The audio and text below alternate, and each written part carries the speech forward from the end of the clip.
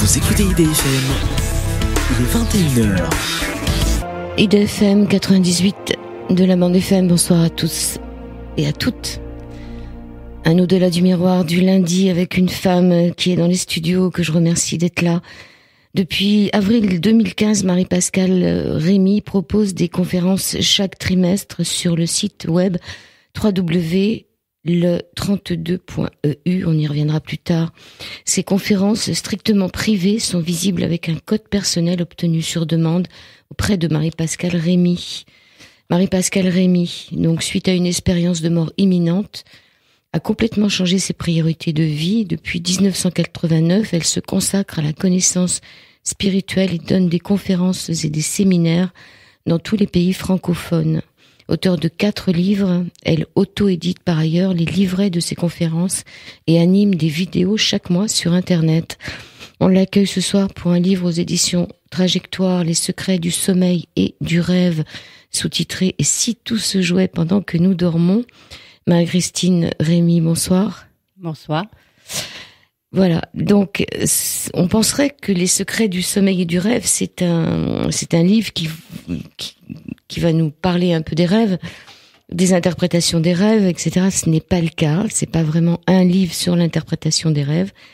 C'est plutôt un livre sur ce qui se passe pendant le sommeil, où on va, qui on rencontre, qui est-ce qu'on est.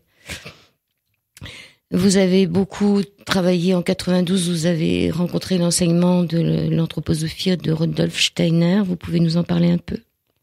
Euh, Oui, en fait, euh, Rudolf Steiner a été euh, vraiment une révélation pour moi. Je l'ai rencontré pas tout de suite après mon accident. J'ai eu un accident de voiture qui m'a fait vivre une expérience de mort imminente, donc euh, en 88. Et je n'ai rencontré l'anthroposophie euh, qu'en 92. J'étais vraiment ravie de trouver euh, l'anthroposophie parce qu'en fait, c'est vraiment l'anthroposophie qui a pu mettre des mots sur ce que j'avais vécu durant cette NDE. Enfin, c'est ce qui parlait le plus à mon cœur. Pourtant, j'ai beaucoup cherché. J'ai cherché en Orient, euh, j'ai cherché un petit peu partout. J'ai même appris l'hébreu, j'ai même fait un an de théologie, euh, j'ai cherché partout. Et rien ne me satisfaisait vraiment. Et quand j'ai rencontré l'anthroposophie, je me dis, ça y est, c'est ça. Bon, ça a été très difficile pour moi au début de comprendre ce langage, qui est infiniment difficile à comprendre. Mais je m'y suis mise et finalement, maintenant, j'aime beaucoup. Il faut régler un peu votre micro, le remonter un peu, voilà, ou être vraiment devant, voilà. Voilà. Alors vous dites que lors du retour dans votre corps, après cette, euh, cette expérience de mort imminente, vous avez eu l'impression de quitter la vraie vie pour entrer dans un film, celui dont vous étiez l'actrice principale à ce moment-là. Mais vous dites aussi qu'il vous a fallu du temps pour réintégrer votre corps correctement, que vous vous êtes longtemps vu de dos avec l'impression de téléguider votre corps à distance. Il vous a fallu aussi des années pour comprendre et intégrer ce que vous aviez vécu. Vous dites que vous vous êtes vu de dos. Vous pouvez nous en dire un peu plus? Euh, Oui, c'est assez désagréable. J'ai même été voir un médecin pensant que j'avais un problème, euh, un problème euh, cérébral. Et en fait, je me voyais de dos, donc j'osais même pas m'asseoir. Quelquefois, j'avais peur de rater la chaise. Ça n'a pas duré très longtemps. Ça a duré trois mois après mon accident. J'étais décorporée. J'étais donc j'ai bien vu que j'étais pas mon corps. Hein. Ça c'est sûr, ça a été une expérience très forte puisque mon corps était devant moi et ma conscience quelque part, on peut dire, était derrière. Donc j'ai bien vu que j'étais pas du tout mon corps. Ça, il y a pas de problème. L'accident de voiture que vous aviez eu, c'était un accident où vous aviez pris un choc à l'arrière? Euh, non, non, non, on était rentré euh, de, de plein fouet dans, dans, en doublant euh, dans un dans un espèce de camion, enfin une, une grosse voiture. On était en pleine accélération et on est passé sous la ouais, sous le sous l'espèce de camion donc ma belle-mère a été tuée dans l'accident, euh, mon ex-mari et mon fils ont eu plusieurs fractures et moi j'étais dans le coma. Voilà, donc euh, j'ai vu finalement très vite, je suis sortie de mon corps. En fait, j'ai vu la scène, j'ai vu l'ambulance, euh, j'ai vu tout ça et j'ai j'ai vu après ce, ce couloir, cette espèce de, de, lumière au bout du au, bout du couloir. Et puis j'ai revu ma vie et, j'ai tiré des conclusions sur euh, la capacité d'amour que j'avais été capable de déployer pendant ces 33 années, puisque j'avais 33 ans à l'époque, et je m'avais trouvé que j'en avais pas déployé suffisamment, et que si je devais revenir, ce qui est paradoxal, parce qu'en même temps je ne savais pas que j'étais morte, Donc, Vous saviez pas Non, j'ai pas réalisé tout de suite. Non, on réalise pas parce qu'en fait, on n'a plus vraiment de cerveau là où on n'a pas une la logique cérébrale qu'on a sur Terre. Hein. Vous avez vu votre corps en bas, quand J'ai vu mon corps en bas, mais on fait, on fait, on fait pas forcément le lien.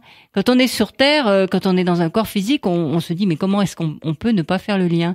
Non, on fait pas le lien. On, on, on se voit au-dessus de son corps. On pense pas forcément que c'est parce qu'on est mort ou non. On est, on est de toute façon bien. Donc euh, il n'y a pas vraiment ce genre de questions. Il y a, voilà, donc j'ai j'ai ressenti simplement que j'avais pas suffisamment aimé et je me suis dit si je reviens, eh bien j'ai intérêt à aimer. Alors comment se fait-il? Quand vous êtes revenu, vous êtes resté un moment à vous voir, à, ne pas vraiment être dans votre corps, c'est-à-dire être euh, à deux endroits à la fois où la oui, conscience c'est-à-dire j'étais très proche de moi quand même, j'étais j'étais pas très loin de mon corps, mais j'étais décalée. Il y, avait vraiment, j'avais vraiment l'impression que j'avais deux véhicules. Il y avait d'une part mon véhicule physique que je voyais très bien, que je voyais de dos, ce qui est quand même étonnant parce que je me vois jamais de dos, donc là je me voyais de dos, et, euh, et moi. Et, et, et du coup, euh, j'avais l'impression que je pilotais mon corps. Ça me donnait l'impression que c'est moi qui le pilotais. Donc euh, c'était extrêmement à l'époque, j'avais pas du tout la connaissance spirituelle que j'ai aujourd'hui. Euh, c'était extrêmement inconfortable. J'étais, j'étais un peu malheureuse quand même, et donc c'est pour ça que j'ai été me faire faire des IRM, des trucs. Je me suis fait vraiment voir le cerveau, électroencéphalogramme et toutes ces choses-là, pensant que j'avais vraiment un problème. Et, comment ça s'est réglé? Ça s'est réglé parce que j'ai été voir euh, une femme qui euh, travaillait sur les auras et qui vous a remis Et qui m'a remise d'équerre. Et c'est vrai que quand elle m'a remis, j'ai eu l'impression qu'on me plantait carrément un poignard dans le, dans le cœur. Ça m'a fait très mal, en fait. Ça n'a pas duré, mais ça m'a fait très mal. je suis rentrée dans mon corps et, ça a été fini. Je me suis plus jamais vue de dos. Donc par le cœur Par le cœur, oui. Enfin, j'ai eu mal au cœur. Je ne sais pas par où je suis rentrée, mais en tout cas, ça m'a fait mal à, au niveau du cœur. Mais mm. je sais pas, peut-être que je suis rentrée par la tête ou par les pieds, je ne sais pas. Mais en tout cas, euh, mon cœur, ça m'a fait un, une douleur très forte. Je me rappelle très très bien de ça, oui. Mm. Et quand vous êtes réveillé du coma, vous avez quel, euh, vous avez pas eu l'impression de re-rentrer dans votre corps? Non. Pas, enfin, c'est-à-dire que oui et non. J'ai eu l'impression que je revenais sur terre, euh, mais j'avais une, une perception, j'avais une perception de mon corps qui était qui était quasiment nulle. Je, je, je sentais pas vraiment mon corps. Donc j'étais pas, euh, j'étais pas vraiment incarné quoi. Je, je savais que j'étais revenu, que j'étais là, que j'étais parmi les, les, terrestres, je dirais, mais je ne peux pas dire que j'avais une conscience de mon corps, parce que je me, ils ont dit après l'accident que peut-être ils allaient être obligés, j'allais perdre un œil, qu'il allait peut-être m'enlever. J'aurais dit bah allez-y enlevez-le, ça aucune importance. Enfin j'étais complètement détachée de ce corps, je me sentais plus vraiment dedans quoi. Donc euh... c'est peut-être pour ça que vous étiez décalé. Oui. Vous dites donc que la seule manière de, de, de retrouver euh, ce qui va bien dans sa vie pour pouvoir évoluer, ça serait de retrouver la pureté de l'enfance. Oui. Ce que vous êtes posé comme question là-bas, si vous aviez assez à aimer, etc. Et à quel moment dans votre vie vous avez été la mieux et vous avez pensé que c'était quand vous aviez la pureté de l'enfance? C'est écrit dans votre livre. Oui, oui, absolument, oui, parce que euh, cet amour que j'ai ressenti de l'autre côté, euh, cet amour total et sans condition, que je, je, je véhiculais, enfin, qui m'était, que je recevais, mais qu'en même temps j'incarnais. C'est assez difficile à, à, comprendre.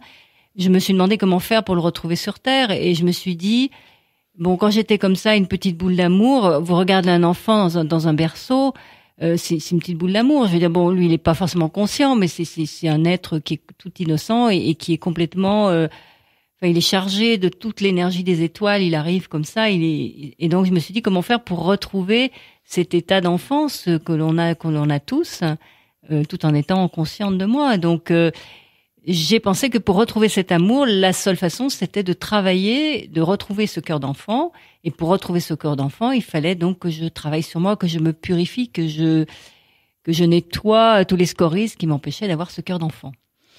Vous dites que dans le corps, nous faisons des expériences des lois de la nature et quand nous sommes hors du corps, ce qu'on verra peut-être euh, en suivant l'émission, quand on dort, on sort de son corps.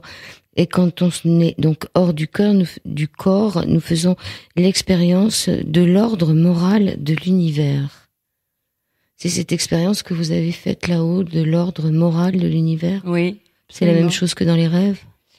C'est la même chose que dans les rêves, c'est-à-dire que la, la force toute puissance, qui toute puissante, qui qui est au cœur du monde et qui dirige le monde, c'est l'amour, contrairement à ce qu'on pourrait croire, parce que c'est vrai qu'aujourd'hui on se sent, on se sent tellement.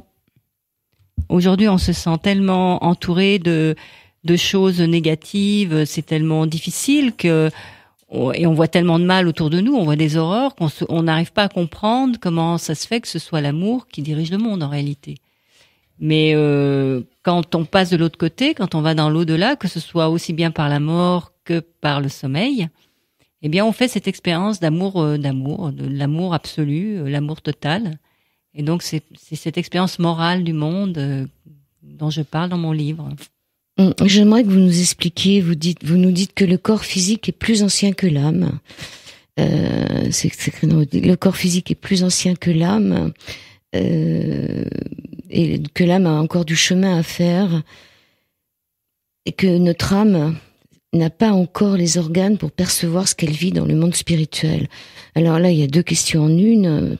Le corps physique serait plus ancien que l'âme. Ça me semble tellement. Euh, expliquez-moi parce que moi j'ai toujours pensé le contraire. Je comprends parce que en fait ça c'est euh, c'est toute euh, la cosmogonie de, de, de Rudolf Steiner qui explique que la Terre elle-même se réincarne. Donc ça, il n'y a pas beaucoup de gens qui le disent. En fait, euh, avant, avant que la, la, planète sur laquelle on est soit comme elle est, c'est-à-dire très minérale, euh, avec euh, donc les quatre éléments et tout ça, elle a eu des états précédents, des états précédents qui sont nommés en occultisme. Donc, l'état qui était juste avant la Terre, comme on la connaît aujourd'hui, c'était l'ancienne Lune. Avant, c'était l'ancien Soleil, et avant l'ancien Saturne. Donc, on, on serait à la quatrième incarnation entre guillemets de la Terre. Et euh, nous, on est constitué, Rudolf Steiner explique que nous sommes nous-mêmes constitués de quatre constituants, corps physique, corps éthérique, corps astral et moi. Et donc, à chaque incarnation de la Terre, nous acquérons, on peut dire, un nouveau, un nouvel élément. Et le premier élément qu'on a acquis, bien sûr pas du tout sous la forme que nous l'avons aujourd'hui, c'est le germe du corps physique sous l'ancien Saturne. Après, on a obtenu le germe de, du corps éthérique sur l'ancien Soleil, après le corps astral sur euh, l'ancienne Lune, mm. et après euh, le, le moi, le je, qui, le fait que je dis moi, je, eh bien ça, on l'a acquis sur la Terre. C'est une acquisition qui est typiquement euh, liée à notre Terre et à cette incarnation dans le règne minéral. Voilà. Donc ça, ça, ça formerait le corps physique. Voilà, c'est ça. Et le corps physique tel qu'on connaît aujourd'hui, parce qu'en fait, notre corps physique, il n'est pas comme on croit qu'il est. En fait, notre corps physique, il est là, il est minéralisé, donc il a, il, porte en lui du minéral. C'est ce qui fait qu'on le voit, mais euh, il n'a pas toujours été visible et il ne sera pas toujours visible. Enfin, avec les yeux que l'on a aujourd'hui, bien évidemment, parce que euh, plus tard, on aura d'autres, euh, une autre façon de voir les choses, évidemment. Oui, donc cette âme n'a pas encore euh, n'a pas encore d'organes pour percevoir ce qu'elle vit dans le monde spirituel. Oui. Donc l'âme, elle viendrait après. Moi, j'aurais toujours pensé que c'était l'âme. Bah, c'est le corps astral. Euh, l'âme, c'est aussi ce qu'on appelle le corps astral en ésotérisme. C'est un peu la même euh, la, même chose. Bah, il y a des différences, mais enfin bon, on peut dire que l'âme c'est le corps astral. Parce que le, corps, astral, on l'a acquis, on l'a acquis, on l'a acquis sur l'ancienne lune. On l'a pas, il, il est arrivé après le corps physique. Mais notre corps physique, il meurt. Oui, mais ça, ça n'a pas, ça n'a strictement pas d'importance. Le corps physique, de toute façon, il est plus ancien que l'âme, alors que il meurt et l'âme, elle, elle est immortelle pour moi. Donc je vois pas. Euh, c'est l'esprit qui est immortel, c'est pas l'âme. Mais bon, enfin, ça, c'est encore des, des notions. Ça, ce sont toute la l'explication, les termes, la terminologie de l'anthroposophie. Donc c'est un peu plus. Euh, après, il faut se mettre d'accord sur sur les mots, sur les termes. Hein. Mais euh, le corps physique, de toute façon, il, est, il, est, voué normalement à la résurrection. Donc, euh, en principe, euh, c'est la, la pensée chrétienne de base.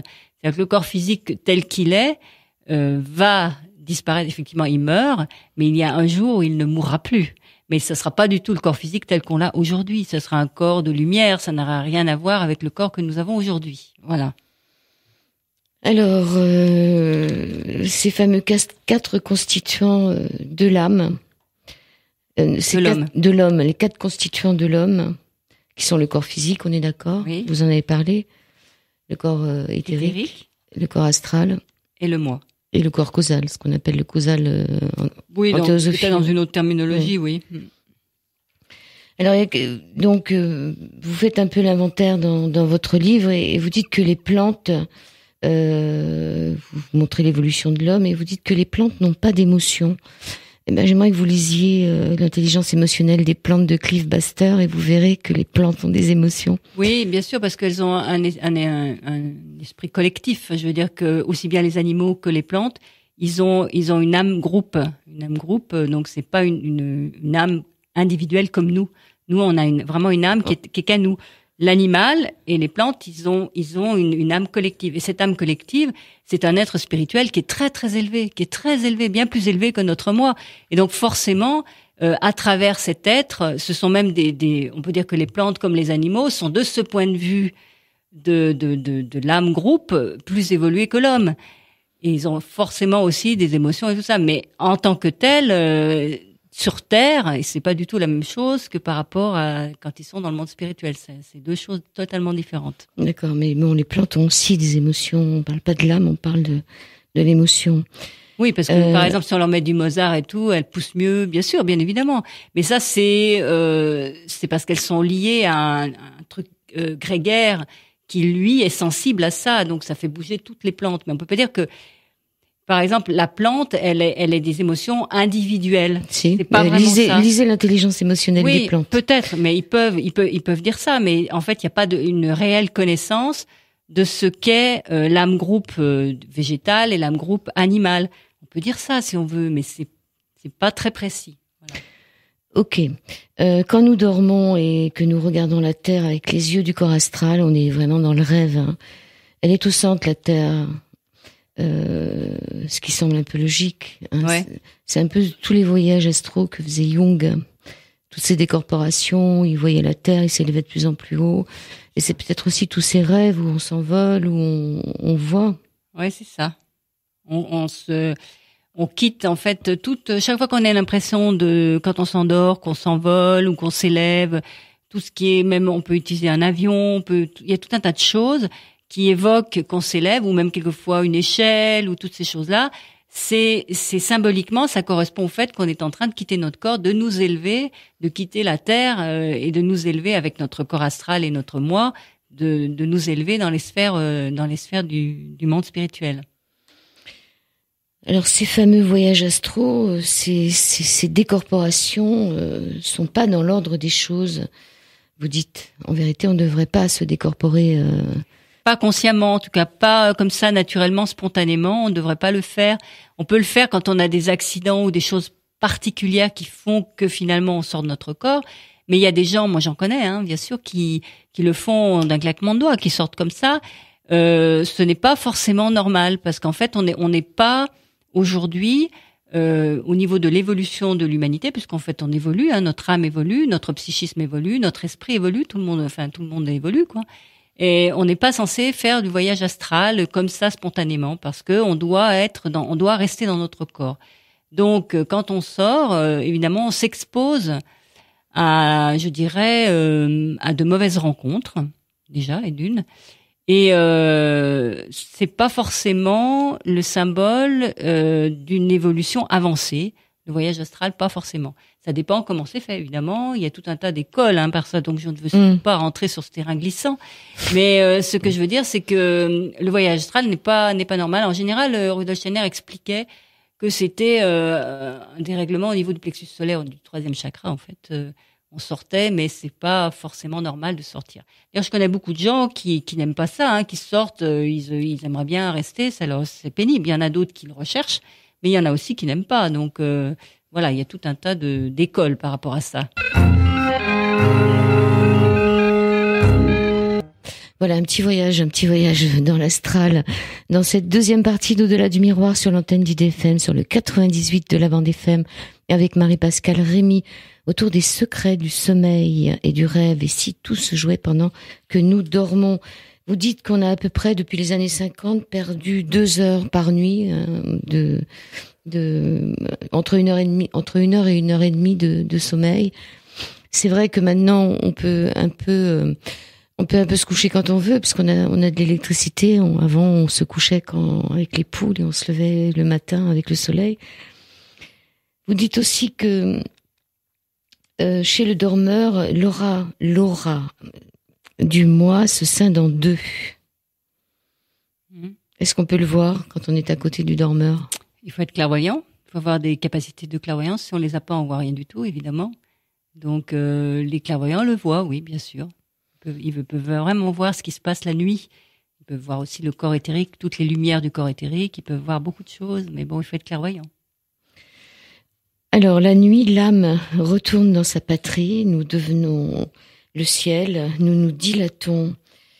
Elle reprend la forme du thème astral, cette âme. Oui. C'est, je trouve ça, je trouve c'est une image magnifique, ça. C'est parce qu'en fait, dans notre thème astral, il y a notre destin, notre destinée qui est marquée dans le thème astral.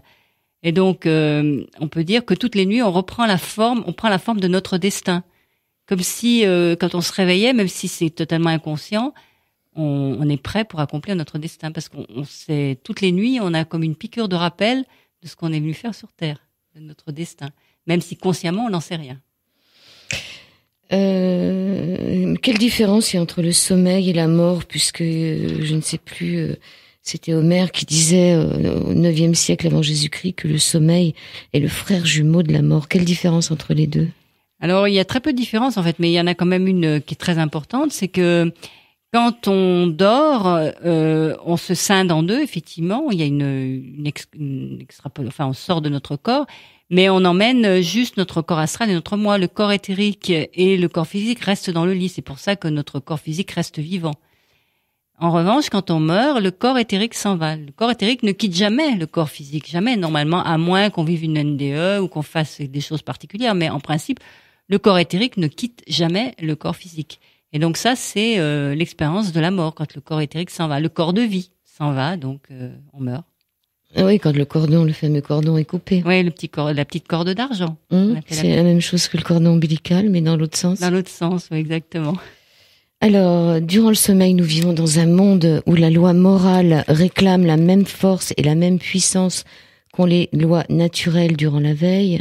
En ce monde, et dans ce monde, notre moi, c'est-à-dire nous-mêmes, dépose des germes nuit après nuit, nous ensemençons les étoiles, semences que nous retrouverons lorsque nous franchirons les portes de la mort. C'est comme si nous préparions notre vie après la mort durant le sommeil, en déposant chaque nuit les germes de ce que nous accomplirons lorsque nous aurons franchi les portes de la mort. Euh, vous dites aussi que finalement son karma, on le prépare la nuit. Oui. Expliquez-nous. Alors le karma, on le prépare la nuit parce qu'en fait, toutes les choses que l'on que l'on fait, que l'on que l'on dit, que l'on pense dans la journée. Ça, de, de l'autre côté, euh, on en a la, la vision morale de, de, ça, et donc euh, c'est cette vision morale qui finalement va façonner notre notre karma et notre destin, parce qu'en fait on va on va tirer, on peut dire euh, des conclusions quelque part, des petites conclusions de de de notre récapitulation de nos journées, par exemple, parce que ce soir, par exemple, nous allons tous aller nous coucher. En principe, euh, il y en a qui vont aller se coucher très tard, mais en principe, on va dormir. Et donc, on va récapituler euh, la journée qu'on vient de passer. Et on va récapituler de l'autre côté, puisque ce sont les lois morales qui dominent, on va récapituler la valeur morale de notre journée, que ce soit par rapport à nos pensées, nos, sentiments et, nos actes, ce que l'on a fait, et il y a personne qui nous juge, c'est nous-mêmes. On fait ça tout seul comme des grands. On n'a pas besoin d'aide, on n'a pas besoin d'un juge qui nous qui nous dise si c'est bien ou mal. On, on, récapitule et on tire des, des leçons. On se dit bon, euh, ça c'est, il faudrait que je fasse comme ça, comme ça. Et c'est ça qui, ces espèces de décisions que l'on prend la nuit, qui ensemencent notre, karma et qui préparent notre notre futur. Mmh. Steiner disait que on ne pouvait connaître, ne peut connaître son karma que celui qui sait rentrer à l'intérieur des minéraux. C'est-à-dire qu'il y a une communication avec le minéral. Oui. On en revient à ce qu'on disait tout à l'heure. Oui, c'est ça. Le physique serait là avant la. C'est ça. Avant l'esprit. C'est ça. Donc le. Il y, a, il y a quatre règnes. Hein. Il y a le règne minéral, le règne végétal, le règne animal et le règne humain. Et c'est vrai que le sommeil très très très très profond, on, l'a pratiquement jamais. c'est très rare qu'on rentre dans ce sommeil profond qui est comme la mort en fait, qui est une c'est vraiment une catalepsie comme la mort. En général, le sommeil le plus profond que l'on ait, c'est, c'est le sommeil végétal, c'est-à-dire qu'on a la conscience d'une plante, donc euh, ce qui est un sommeil profond sans rêve. Et puis après, le sommeil un peu plus léger, c'est le, ça correspond au règne animal, c'est avec des images. Et puis quand on est réveillé, c'est l'humain.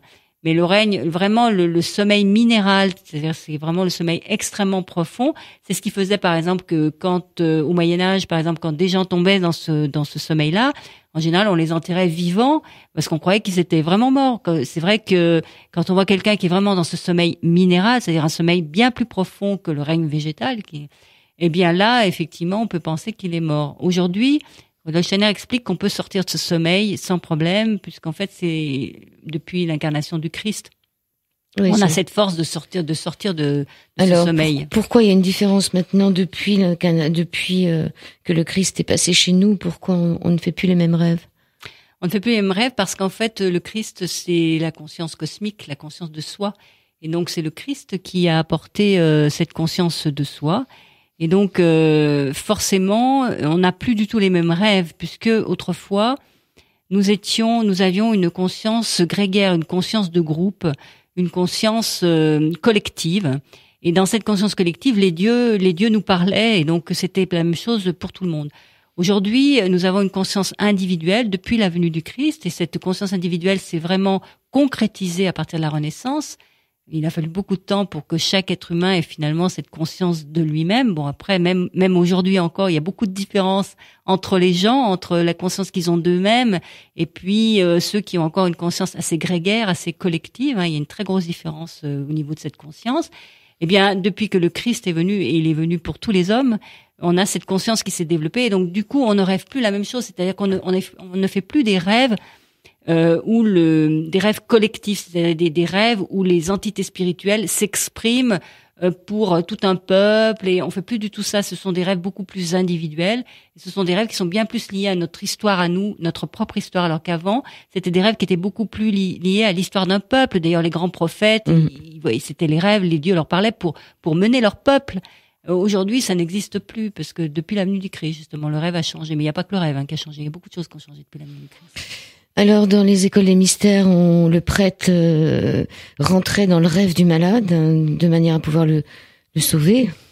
Oui.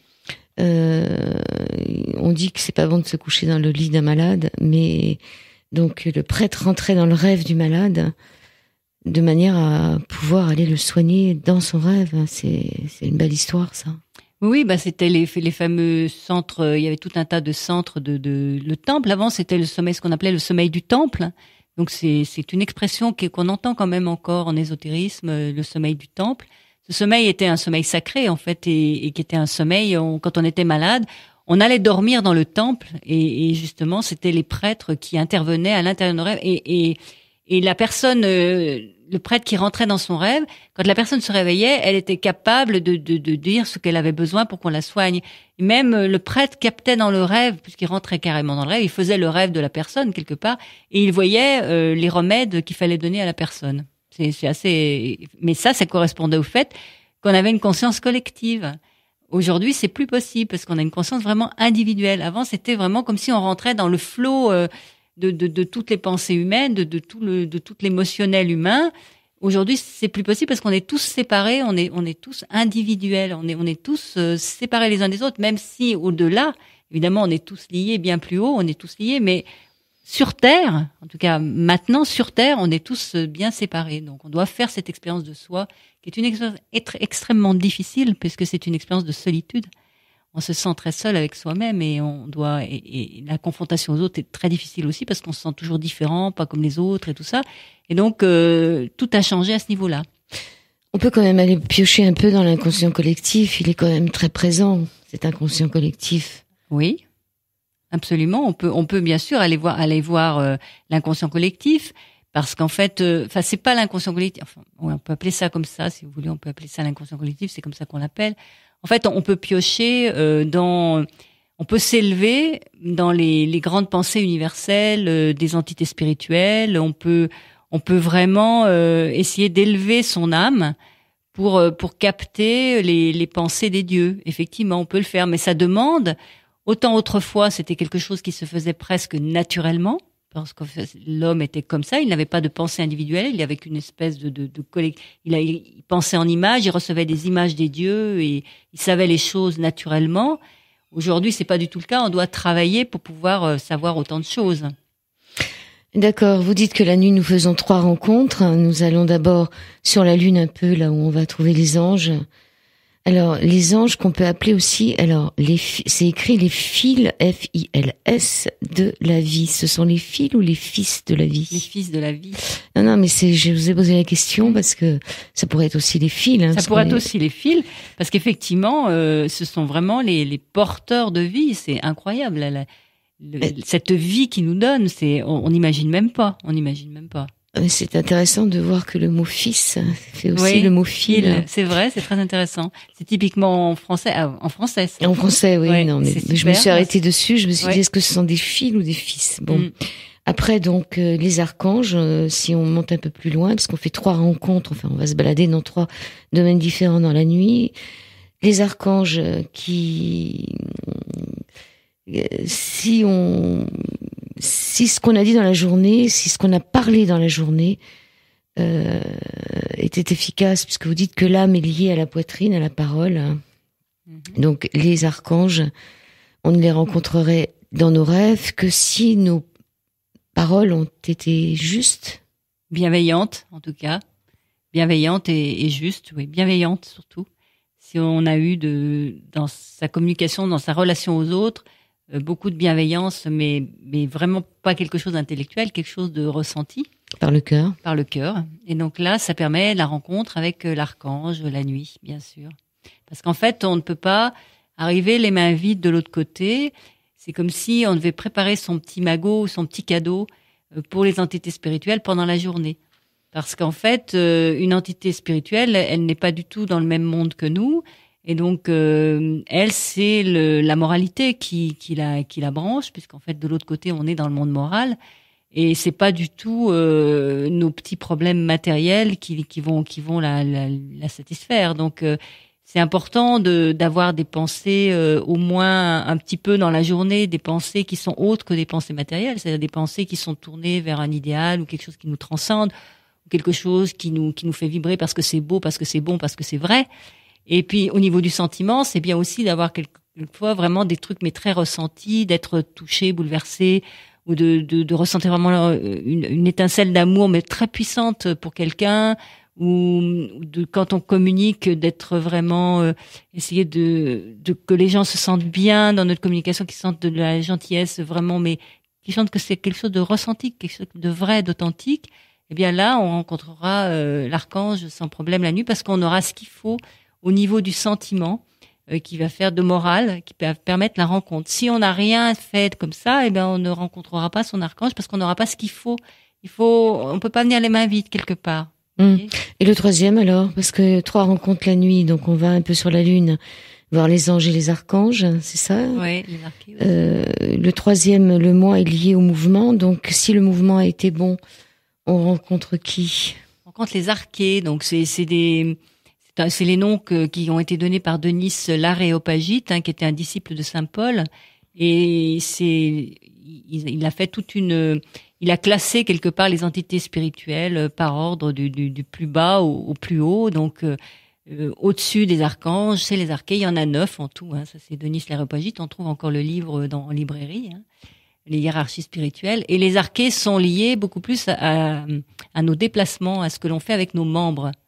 Donc, euh, par exemple, vous pouvez sentir que dans une journée, vous avez bien fait d'aller à tel endroit. Le fait d'aller à cet endroit vous a finalement rempli de bonheur. Euh, bon, ça peut être peut-être que vous vous trompez sur la raison extérieure, mais qu'en fait, profondément, intérieurement, même si vous le savez pas, c'est quelque chose de très moral. Vous l'avez fait de vraiment bien.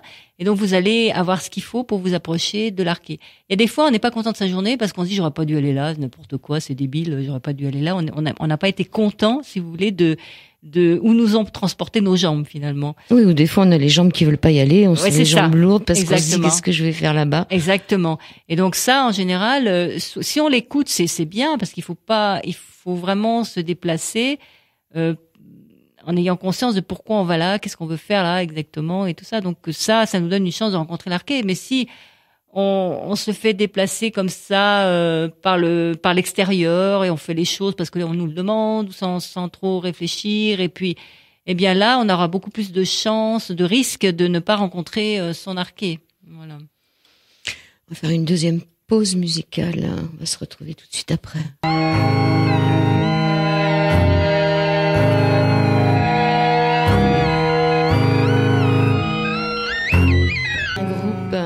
Qui s'appelle Sibiel, S-I-B-I-E-L, ça s'appelle La Douceur. C'est pas de la musique que vous entendez tous les jours, mais moi je trouve qu'elle est de circonstance. Et nous reprenons le fil de cette émission avec Marie Pascal Rémy.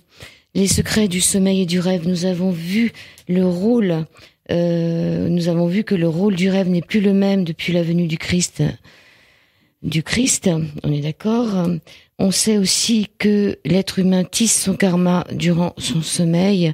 Comme on s'endort le soir, conditionne, notre sommeil. Il faut faire attention à son état d'esprit avant de s'endormir. Marie-Pascale Rémy. Oui, bah, il y a une expression qui dit comme on fait son lit, on se couche. Hein. C'est valable pour le sommeil, puisque même euh, Saint Paul, je crois, disait qu'il fallait jamais s'endormir sur une colère ou euh, bon, c'est très important de la façon dont on s'endort, comme quel état dans lequel on est. Et c'est aussi très important comme quand on meurt. Comment est-ce qu'on va mourir? Est-ce qu'on va mourir en colère, en rancune? Ça conditionne notre vie après la mort. Quand on s'endort, c'est rigoureusement la même chose. Ça conditionne notre notre nuit. C'est-à-dire que si vous êtes, euh, si on n'est pas bien, si on est on est en colère contre quelqu'un, ou si on a de la honte, ou si on a la culpabilité, tout, c'est très important de prendre le temps de ne pas s'endormir comme ça, parce que forcément la nuit va va être euh, va pas être réparatrice et on, risque même plutôt de faire des mauvaises rencontres pendant la nuit plutôt que de rencontrer euh, ces entités lumineuses que sont l'ange, l'archange et l'arché. On va arriver aux mauvaises rencontres. Il y a quelque chose de dur dans votre livre. Vous dites justement que si on n'y a pas pensé avant, hein, donc à la mort, en se disant ouais, on verra bien. De toute façon, euh, il y en a plein qui pensent comme ça. Ben, quand elle arrive, on ne verra rien du tout. Alors, on ne verra rien du tout. Ça veut dire que les gens qui s'en moquent, s'ils ne voient rien du tout, qu'est-ce qui se passe pour eux? C'est horrible. Moi, j'y crois pas. Moi, je pense que de toute façon, il se passe quand même quelque chose pour eux. Euh, oui, il se passe bien sûr quelque chose pour eux, sauf qu'ils dorment. Ils vont, rester, que... ils vont rester longtemps endormis. Voilà, ils dorment. Simplement, ils arrivent, ils s'endorment assez rapidement. Bon, Rudolf Steiner disait que aujourd'hui, euh, la plupart des gens s'endorment avant, avant d'arriver à la sphère du Soleil. Donc, euh, lui, il parle par sphère, par niveau.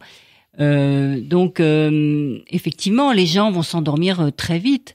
Alors, qu'est-ce qui se passe? C'est pas gênant parce que de toute façon, les entités spirituelles vont quand même agir à travers eux, ils vont quand même transformer leur karma, ils vont quand même faire ce qu'il faut, sauf que comme ils sont pas conscients, ils, ne participent pas du tout à cette chose-là.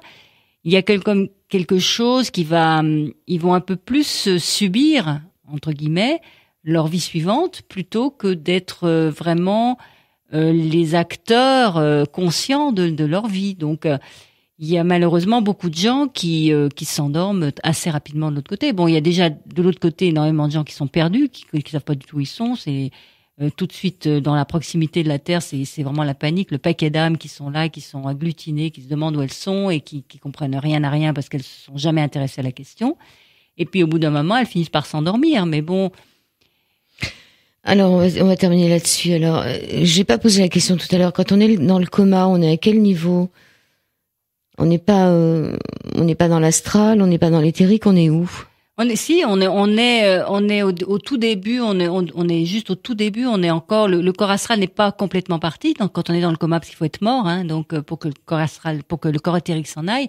Donc on est, on est en, en suspension, je dirais, dans son corps éthérique. Donc on est immédiatement dans la sphère qui est immédiatement les trois jours qui suivent la mort, parce que il faudrait éviter d'enterrer les gens ou de les cramer avant. Avant, avant trois, jours, oui, c'est ça. Donc on est, on est dans cette dans cette période des trois jours euh, parce qu'on est encore dans son corps éthérique. Donc euh, le coma, on est dans le corps éthérique. On n'est pas vraiment encore dans l'astral, mais on n'est plus dans le plan physique et on est dans l'éthérique. C'est cet éthérique qui est ce monde éthérique et on reste pas très longtemps même quand on est mort. On reste trois jours maximum, grand maximum. Il y en a qui restent que deux jours, hein, donc euh, c'est très, c'est un temps qui est très court. Et la NDE, on va là, on va dans cette dans cette bande là. Mm. Voilà. Alors vous allez nous parler du double. Il y a ce double qui est dans le livre dont vous nous en parlez, ce fameux double qui viendrait euh, avant nous, euh, qui nous incorporerait euh, pratiquement avant notre âme et qui se sauverait avant notre mort. C'est ça. Euh, alors parlez-nous un peu parce que ça c'est. Ça, ça fait. Ça, je sais que ça fait un petit peu peur. Il n'y a pas beaucoup de gens qui, qui en parlent vraiment. Bon, euh, Jung en a parlé quand même. Il a parlé de et Freud aussi. Ils ont parlé de cette, Ouais. de cette ombre, Oui. de ce, de cette part d'ombre que nous avons tous.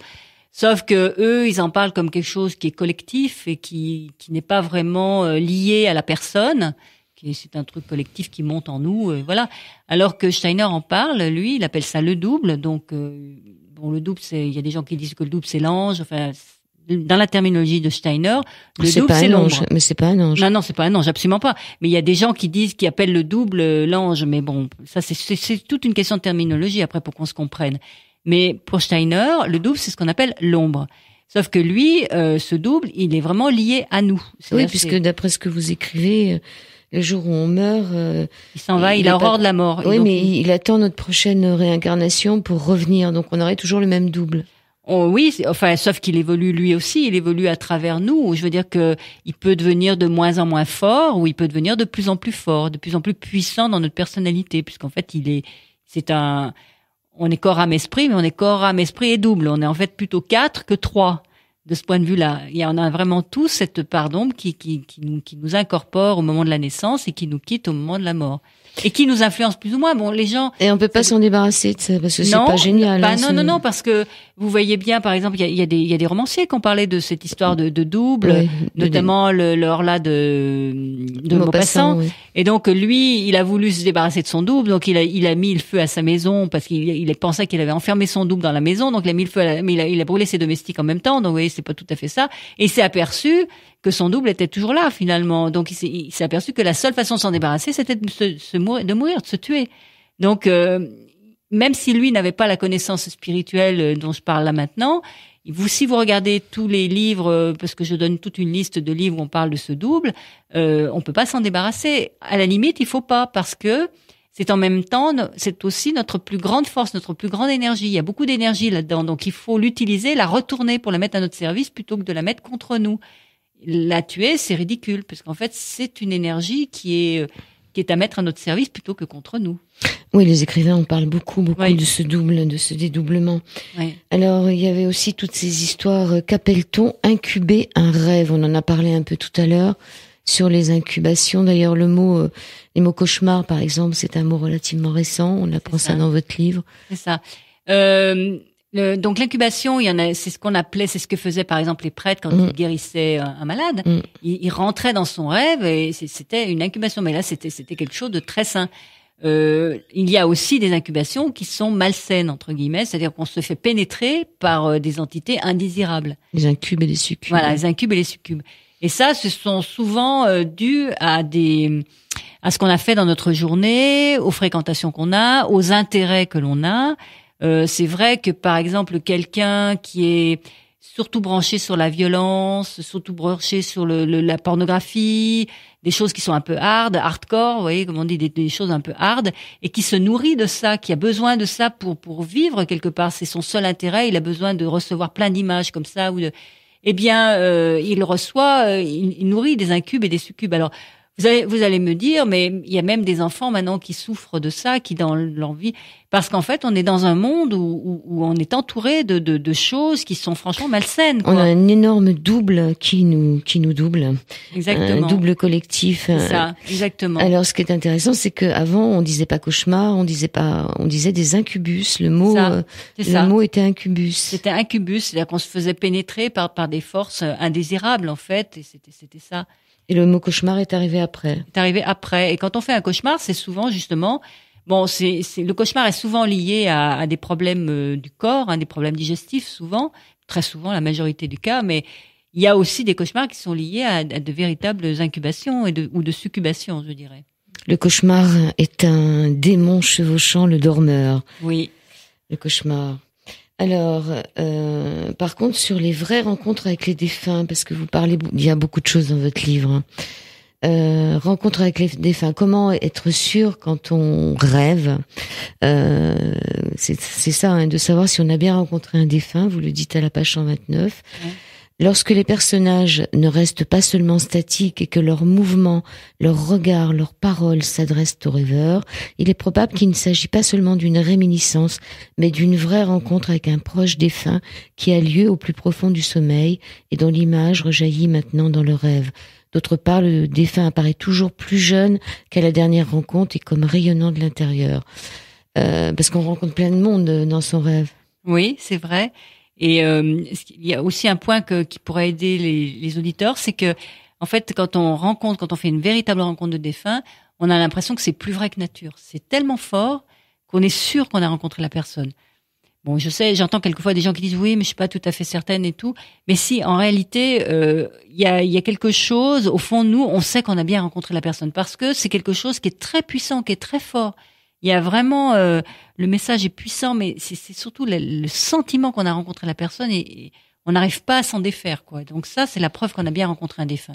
Alors là-haut, dans le monde spirituel, le temps est inversé. Oui. J'y pense parce que je me dis que rêver à des gens qu'on a connus, son arrière-grand-père, des gens qui sont morts il y a très longtemps, ils sont toujours présents quelque part, mais c'est normal si le temps est inversé là-haut.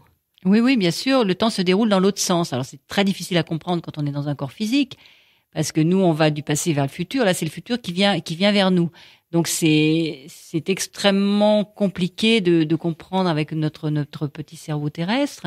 En fait, tout se déroule dans l'autre sens. Donc euh, c'est pour ça que Rudolf Steiner prenait euh, ce qu'on appelle la rétrospective, c'est-à-dire s'habituer à repenser sa journée à l'envers, parce que en faisant ça, dans l'autre sens, c'est-à-dire on part du soir et on retourne au matin, euh, en général, on s'endort avant d'atteindre le matin. Exactement, parce que c'est tellement difficile. On doit, on doit lutter, on doit aller à contre-courant du temps, et ça nous demande une volonté très très forte, et on a beaucoup de difficultés à le faire. Mais c'est ce qu'on fait pour toutes les nuits. On récapitule à l'envers, parce que dans le monde astral, c'est le monde inversif par excellence. Tout est inversé. C'est-à-dire l'eau semble retourne à sa source, euh, euh, les couleurs sont inversées, le rose est vert, le vert est rose. Enfin, tout tout est inversé. C'est le monde inversif des sorciers, ce qu'on appelle c'est le monde astral en fait, et tout est à l'envers, de l'autre côté. Donc, euh, quand on s'endort, on passe dans ce monde aversif. Vous dites que nous ne rêvons qu'au moment des passages. Oui. Alors, comment on peut faire pour rêver deux heures par nuit? C'est à peu près le nombre de Oui, c'est à peu près le nombre de nuits. Mais on fait plein de passages? Oui, on fait plein de passages parce qu'on a des on a des moments où on est presque réveillé. Et puis euh, c'est pas le sommeil profond. On a très peu de temps de sommeil profond dans une nuit. Hein, donc euh, en fait, on a beaucoup de, de, fluctuations dans notre sommeil. On a des moments où on rêve, donc qui sont les moments où on vient de s'endormir, où on va se réveiller. Donc là, on rêve en général. Mais le reste du temps, on a des moments de sommeil profond, euh, sans rêve et sans rêve. Et donc euh, à ce moment-là, eh bien, euh, on n'est pas du tout comment dire, on est, on, est, juste en train de se réparer parce qu'on a oublié de dire, c'est très important, que la nuit c'est fait pour réparer le corps physique. Quand Exactement. On n'en a pas parlé. Oui, c'est essentiel, c'est essentiel, c'est essentiel bien sûr, parce que si on ne dort pas, on peut rester. Je crois, vous m'avez dit, vous avez écrit cinq jours maximum, sans dormir, on meurt. Oui, exactement. Oui, parce que en fait, notre notre âme, puisque vous avez parlé de l'âme, notre âme qui, qui, est donc notre corps astral et notre moi, euh, leur vrai monde, c'est pas la terre. Leur vrai monde, c'est le monde des étoiles. Donc en fait, ils ne peuvent pas, euh, ils ne peuvent pas rester longtemps dans le corps. Ils sont obligés de partir. De même que le corps physique ne peut pas vivre s'il ne reçoit pas l'énergie du monde des étoiles. Donc euh, c'est pour ça que on est obligé de dormir parce qu'en fait, quand on dort, le, on peut dire que notre notre âme fait le plein d'énergie et cette énergie, elle va la redonner au corps physique, elle va la déverser tout au corps physique. Le corps physique ne peut absolument pas vivre s'il n'a pas d'âme. C'est vite vu, le problème est réglé, c'est pas possible puisqu'il n'aura pas la vitalité pour le faire. Alors il y a tout un tas de choses dans votre livre, des prières au moment de s'endormir, au moment de se réveiller. Et puis euh, pourquoi euh, c'est comme les Égyptiens, la dernière semaine de, l'année, celle du 24 décembre au 4 janvier là, il y a euh, une importance de, de regarder ces, ces rêves, de les interpréter. Par exemple, la nuit du 24 décembre correspond au mois de janvier, à l'innocence. Euh, c'est quoi C'est euh, le 25 décembre correspond au mois de février de l'année à venir, s'ouvrir à l'ange. Est-ce que c'est en fonction des rêves qu'on fera dans cette fameuse semaine du 24 décembre au 4 janvier? Ces, ces fameuses semaines où on n'a pas le droit de tirer les, les cartes ni de demander quoi que ce soit aux, dieux dans l'Égypte ancienne parce qu'ils ont le droit de se reposer. Est-ce que c'est lié à ça? C'est lié à ça. En fait, c'est ce sont ce qu'on ce qu'on appelle les douze nuits saintes. Ce sont des nuits euh, qui sont des nuits sacrées qui sont quelque part des nuits qui sont en dehors du cycle, parce qu'en fait, euh, qui sont en dehors du cycle de l'année. Parce que si vous faites euh, une année solaire, c'est 365 jours. Et si vous comptez une année lunaire, c'est euh, 350. Enfin, je veux dire, il y a 356. Euh, voilà, il y a une différence de 12 jours. Si vous comptez l'année lunaire ou l'année solaire, par exemple, les les musulmans, eux, ils sont dans, l'année lunaire. les juifs aussi. Mm. Et nous, on est en année solaire. Et donc, il y a une différence de 12 jours Et on peut dire que dans l'année, il y a 12 jours où euh, les jours ne sont que solaires, ils n'ont pas l'influence de la Lune. Et ce sont 12 jours qui sont 12 jours sacrés. Et ce sont ces fameuses nuits qu'on appelle les nuits saintes. Et ces nuits saintes, euh, les rêves que l'on fait pendant ces nuits saintes, puisqu'on n'a plus l'entrave quelque part de la Lune qui vient un peu nous apporter des choses qui sont pas forcément positives. Là, on a, on a vraiment il y a comme une espèce de cristallisation, une espèce de pureté qui s'installe. Et donc les rêves qu'on fait là sont très importants parce qu'en fait, ils conditionnent chaque nuit, conditionnent le mois, les 12 mois de l'année à venir. Hmm. Donc voilà, vous trouverez tout ça dans Les secrets du sommeil et du rêve aux éditions Trajectoire Marie Pascal Rémy R-E-M-Y. Qu'est-ce qui se passe sur ce site www.le32 en chiffres.eu Pourquoi le 32 le 32 parce que c'est tout simplement euh, mon adresse. J'habite dans un 32, donc euh, j'ai mis ah, le 32. J'ai pas été, j'ai pas, il y a rien de spirituel là-dedans. C'est juste que c'est chez moi. ok, d'accord. Et donc euh, j'ai décidé de, parce qu'en fait je fais quand même des conférences régulières. Je fais une conférence par mois, donc dans Paris ou ailleurs. Et donc j'ai les gens euh, voulaient m'entendre plus. Et il y a des gens qui peuvent pas me voir parce qu'en fait ils sont loin, ils sont au Québec ou ils sont en Suisse ou ils sont en Belgique, ils peuvent pas me voir parce que moi je fais surtout mes conférences en France. Donc vous les filmez? Donc je, je fais des vidéos et je, je fais des conférences d'une heure et j'en fais une par mois. Donc y est soit aux fêtes de l'année puisqu'en fait pour moi les, les fêtes de l'année c'est très important. Donc j'explique à quoi ça correspond et les rituels qu'on peut faire hein, après qu'on peut créer. Et puis, je parle aussi de tout un tas de connaissances. Bien sûr, c'est toujours à travers la grille de lecture anthroposophique, évidemment. Donc après, il faut, euh, il faut être, se sentir attiré par ça parce que c'est quand même une, toute une terminologie qui est très particulière. Ah oui, c'est de l'anthroposophie. Oui. Alors, ces conférences euh, strictement privées sont visibles sur un code avec un code personnel obtenu sur demande auprès de Marie-Pascal. C'est payant, non Oui, c'est payant. C'est payant parce qu'en fait, je ne voulais pas, c'est pas très cher hein, d'ailleurs, mais c'est c'est parce que je ne voulais pas euh, être sur YouTube, être à tout venant, parce qu'en fait, c'est important pour moi que les gens euh, qui, euh, le fait de payer, ils s'impliquent et ça les, ça prouve qu'ils s'y intéressent vraiment. Parce qu'il y a tout un tas de gens qui, qui, qui, qui, écoutent ça, mais bon, ça ou autre chose, ou une recette de cuisine, pour eux, c'est pareil. Donc, pour moi, c'est important que les gens s'impliquent et je veux être sûre d'être face à des gens qui font, qui sont dans une véritable recherche. Voilà. Donc, euh... mais des fois on cherche, euh, on trouve des choses sans les avoir cherchées. Oui, c'est vrai. Justement, euh, là, ça bloque un peu la recherche. Non, parce que les gens, ils ont, ils ont d'autres moyens de me, de me contacter, puisqu'en fait, euh, je fais des conférences publiques aussi.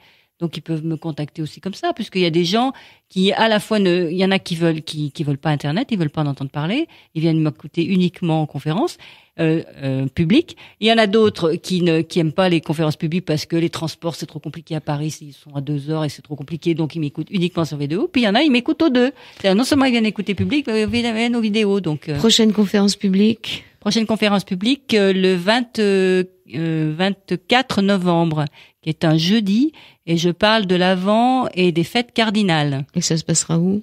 Ça se passe à la Cornaline, 62 rue Saint-Lazare. Oui, c'est une petite euh, librairie à côté de la, à côté exactement. Ok.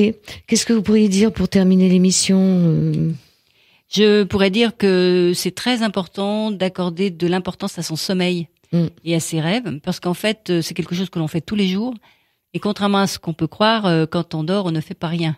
Certes, on se répare, mais on fait beaucoup plus que ça puisqu'on prépare notre devenir. Donc ça vaut vraiment le coup euh, de faire ce qu'il faut pour essayer de, de, dormir le mieux possible. C'est pas forcément le temps qui compte, dormir longtemps, c'est dormir bien. On dit que quand on dort, on dîne aussi. Oui, c'est vrai, on dîne, on dîne, on dîne, on se nourrit, bien sûr. C'est une nourriture toute spirituelle. Et, on dit que le sommeil porte conseil. Oui, c'est vrai. la nuit, la nuit porte la conseil. La nuit porte conseil. Oui, c'est vrai, puisqu'en fait, on rencontre euh, les entités spirituelles, l'ange, l'archange, l'arché, et ils nous disent ce qui est juste euh, par rapport à notre devenir. Donc effectivement, euh, le, la nuit porte conseil. Merci, merci beaucoup Marie-Pascale Rémy. Merci beaucoup. Merci beaucoup.